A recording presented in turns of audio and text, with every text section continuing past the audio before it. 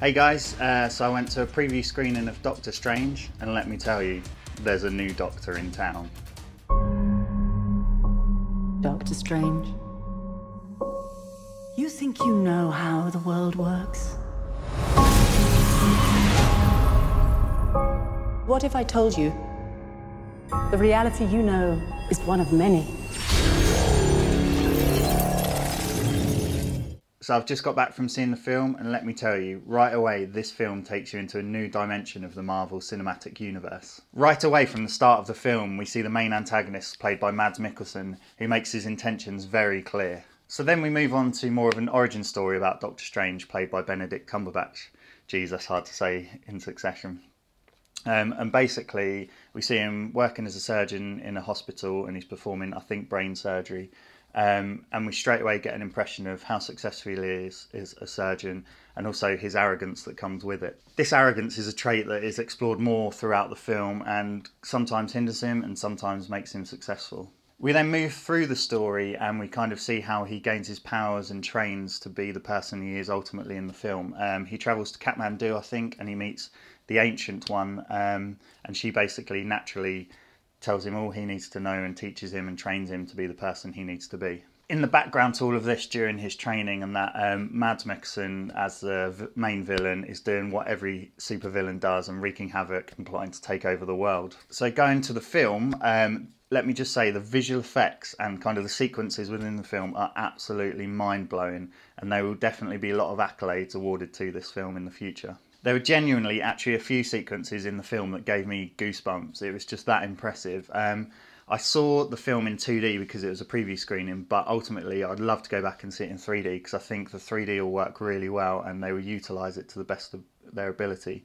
The kind of new world we've entered with Doctor Strange in the Marvel Cinematic Universe is just brilliant. It's so diverse and it has so much depth, and there's so many possibilities that you could do with it in future films and storylines. Benedict Cumberbatch as Doctor Strange, as you'd expect from his kind of stature as an actor, is exquisite in the film. He really portrays the role very well. Um, he's got a great sense of arrogance about him, which I previously mentioned, which he just plays perfectly but also there's kind of a tinge of um, vulnerability about him when he's going through his training that you kind of sense upon as well. But ultimately, it's the arrogance that drives him to the person he wants to be and what he needs to do within this new world. I was slightly let down by Mads' villain character in the film. Um, I loved him in Hannibal, the TV series. He completely encompassed that Hannibal character and brought a menacing yet, yet subtle kind of trait to it.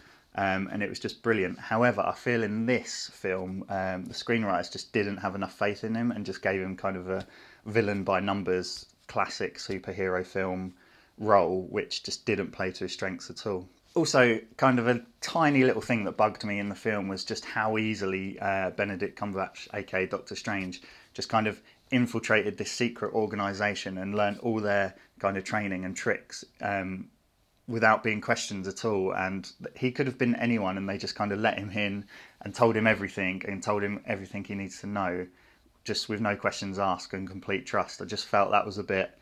They kind of waded through that, and there could have been a few more questions by the secret organisation about who he was and his background and that. But they were just like, yeah, we'll go with it. It's fine. Uh, we'll tell you everything you need to know, and we'll tell you all secrets about magic and kind of parallel universes and different universes and kind of who the dangers are and everything. And it just, I don't know, it just felt a bit weird. Also, along kind of with any other Marvel film, you have the kind of comedy sequences and the, the little quips in it. But I just felt in this film they were a bit too kind of childish. And obviously, the film in the UK is a 12A, which basically means anyone under 12 can be accompanied by an adult. Um, and I just feel there's a few bits in it that, that just weren't needed. Um, yeah, there were some laughs in it, but there are other bits that were just a bit slapsticky, and I, I, I, don't think it was needed. I think, obviously, if the film was elevated to a 15, I think they would have just got rid of that, and it would have been a more all-round kind of adult film. The film really moves at a fast pace, and it never lingers on anything too long, which is perfect, kind of when you're setting up a new franchise and it's an origin story. I hate the films that just linger loads on kind of the origin and then have the the final fight at the end.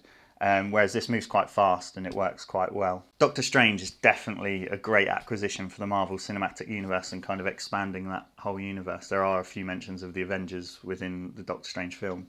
Um, I think it's definitely I think Marvel have definitely got a hit on their hands, and I'm really hoping and praying and waiting for the news for the second one to be released. Ultimately, I'm going to give Doctor Strange 8.5 out of 10. It's a really great superhero film, probably one of the best for the last few years, and it just keeps the Marvel ball rolling forward.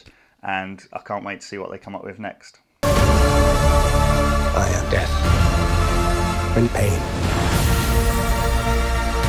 We'll die protecting this world. I can't do this. There is no other way.